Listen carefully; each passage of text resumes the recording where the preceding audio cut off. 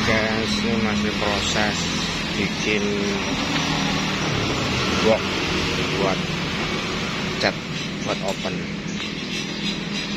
Itu pintunya masih finishing dalam cat tunggu sampai selesai guys. Part selanjutnya.